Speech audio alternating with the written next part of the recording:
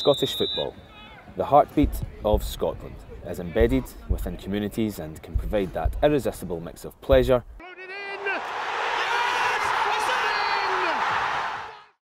and pain that colours so many lives. Yet there is a consensus that Scottish football has a bad reputation and is potentially falling behind.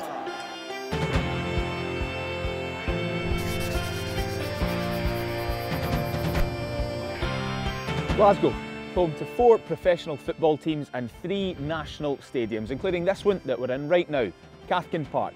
Back in the day, more than 50,000 people have crammed onto these terraces to watch Third Lanark play football. It's a sport that holds a proud tradition in Scotland. We were the first people to introduce the pass and move tactic, now seen all over the world, and the first country to ask women to play back in the Middle Ages.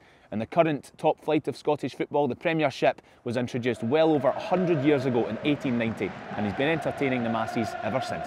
Football is a much loved game in Scotland and has become a multi million pound business, but where does all that money go? A recent report by the SFA and UEFA tells us that more than £700 million has been saved in healthcare thanks to participation in the game, and the money brought into the country has totalled over a billion thanks to people playing the sport as well. In this documentary, we will look into the important role that Scottish football plays not just on the pitch, but off it as well. I think Scottish football generally gets a, a bad reputation, but there are 42 professional clubs in Scotland and 41 of them are doing something within their within their community. So that's a that, that's something that we, we need to be talking about. Many small towns in Scotland have football clubs. Some small towns have bigger clubs with community trusts that engage with and improve the community surrounding them. They're the backbone that provide a pathway for future generations to get involved with their local clubs. Throughout the pandemic over the last couple of years, these trusts have received praise and glowing commendations from throughout the Scottish footballing community for the work they've done Ross County Football Club, formed in 1929, is the most northern team in the top flight. As such, it has a wide catchment area stretching from Inverness-shire to Ullapool and the Western Islands. In this catchment area they use as an advantage for the number of footballers they can include within their programmes. Super busy, our schools programme's pretty much full for this term, which is a huge part of getting the kids to come, our community staff. So for me, my role is managing schools program, so I go contact schools, primary schools, secondary schools, and we go and deliver sessions every, well, one day a week to all the pupils in that school for a term. The last two terms were okay, and now we're at the stage where we're so busy at the minute we can't really take any more for this term. But despite the success, there are always challenges hampering the potential development and impact they can make. A key challenge facing community trusts around Scotland is the lack of access to decent pitches throughout the country. More than 100 council parks have been sold off to land developers in the recent past, just highlighting the scale of the problem. And Scotland's obesity rate is one of the highest in Europe as well, which just means it's even more vital that pitches like these are made available to increase the well-being and the health of kids and adults and relieve pressure on the NHS. Pitches like these need to be unlocked. As Ross County's Community Trust knows all too well. Yeah, that's been the main issue for us really. Uh, a lot of our staff, especially towards the later stages of the year, we've got to do it inside for for uh, the kids. Obviously, we're not wanting them outside when it could be snowing, raining. So getting indoor facilities have been really tricky to get. Oh, fingers crossed, we're in a situation where in the next few months we can we can get some sort of facility where we can get back into those areas that we've not managed to hit. From Scottish football's second home to the third and current one, Hampden Park in Mount Florida, Glasgow's south side, just a couple of hundred metres from Cathkin Park. Across the way, there lies Lesser Hampden, where Queen's Park will be playing potentially Championship, maybe League One or League Two football in the coming seasons after they sold the iconic stadium to the SFA in 2020. There are other developmental issues in Scotland that pose problems for trusts to have to adapt to and overcome as well. COVID-19 forced them to quit programmes and vastly reduce the amount of hours that kids were able to spend playing together. Working around restrictions has never been easy, but systems put in place also haven't been the most effective at making sure every kid has an opportunity equal to one another at participating in programmes put on by the trusts. A large part of the Community Trust network is the SPFL Trust. Established way back now in 1940, they work in conjunction with all 42 SPFL clubs, covering 222 local authority areas, which helps them reach almost 85% of the Scottish population. Their health officer, James Barber, described some of the challenges that COVID imposed upon them. The restrictions we faced made it difficult to run programmes. Some programmes we ran um, were kind of face-to-face delivery, so how do we change that to, to online without losing the quality of the programme? The challenge we had was how do we fund it? Some of our funding or some of our money was, was maybe halted for various reasons, some of it was, was gone for various reasons, so how do you how do we then go and fund it? Um, a lot of our funding comes through grants and, and through kind of restricted money. So though sometimes it can be documented that we get a lot of donations or we get X, Y, and Z as income, a lot of it's restricted income. So it's not if we can't use it for a particular thing, then we can't use it at all. So, for example, our football fans and training programme is funded on the basis it's a face-to-face delivery. So when COVID hit, we had to rethink it. How do we? We can't use the money to do it online we don't know if it'll work online, so how do we overcome that? Um, another challenge we had was the access to, to our clubs being able to access facilities. Um, going back to talking about the hook, we like a lot of our programme to be delivered as close to the club as possible. If they can do it in the stadium, brilliant. But we found during COVID that stadiums are obviously closed, stadiums are, are not got the capacity to have, they've maybe not got the rooms big enough to have two metre distancing, they've maybe not um, got the facilities to offer an outdoor area or a well ventilated area with a red zone that was in place for a long time and still is in place in the championship. Away teams are now getting changed in in boardrooms, in hospitality lounges, in halls. So that's then space that the community trust or the charities can't use for the programme. So Great uses of football are happening off the pitch too, with programmes put on by trusts similar to ones used in other industries.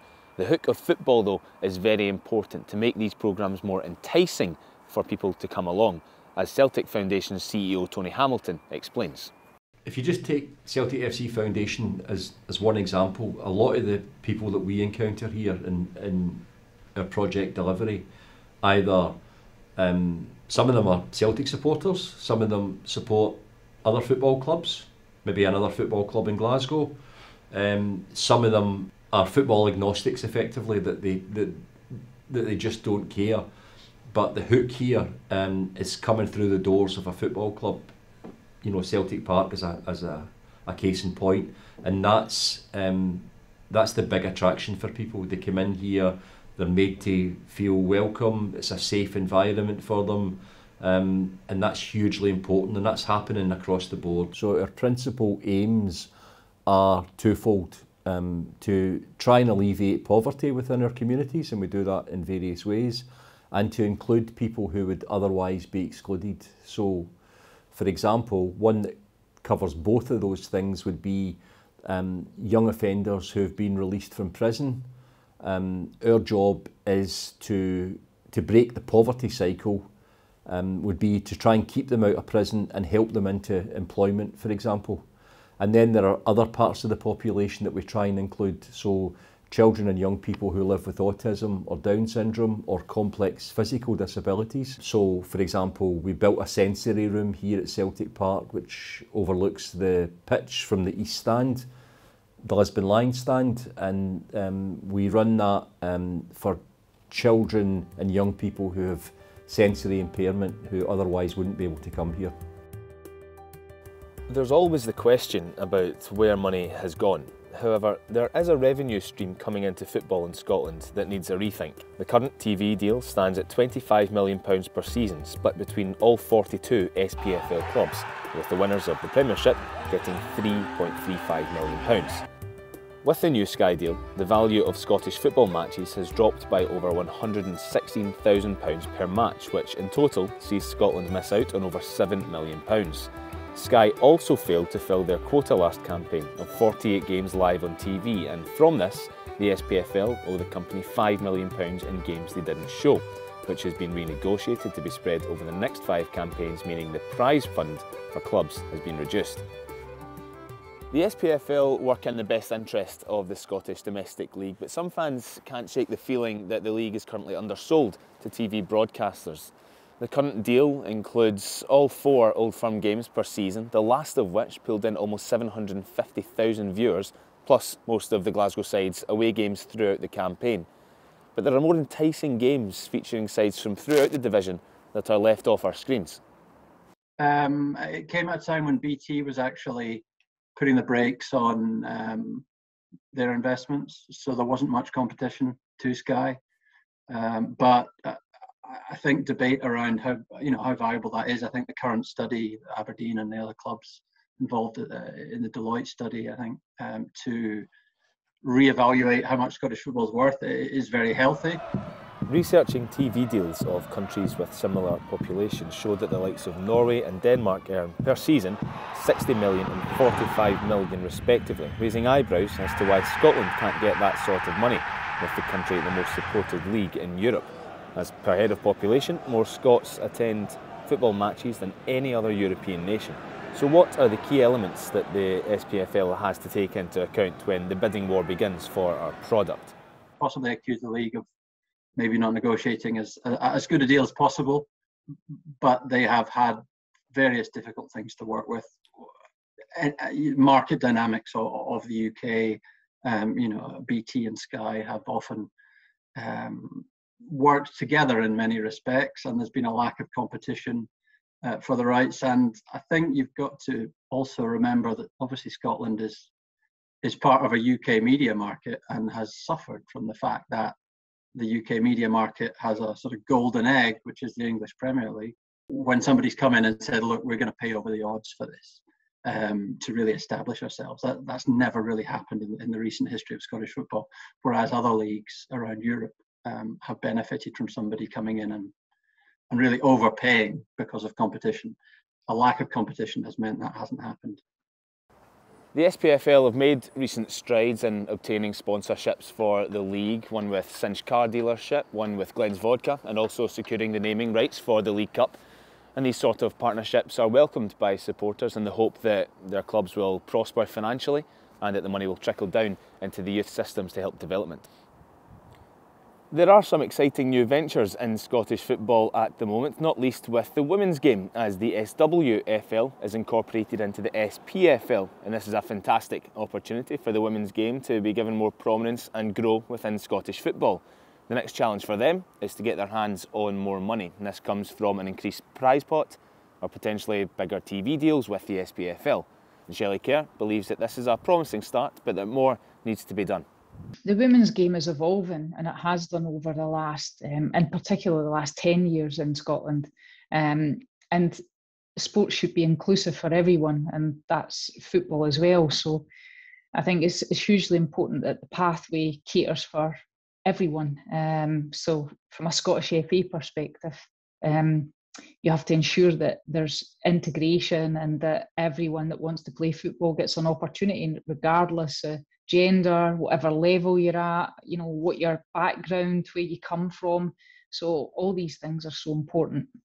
I think in a nutshell, it's about changing perception. Um, still, people have got a perception about women's football, but the more um, the more it's visible, the more professional it gets, the more resource um, that's generated that comes into the women's game, then the better that's going to be and the better chance you have of changing people's perception. With the financial gains made in the sport, there are a few key areas identified to help ensure the future of Scottish football remains looking bright.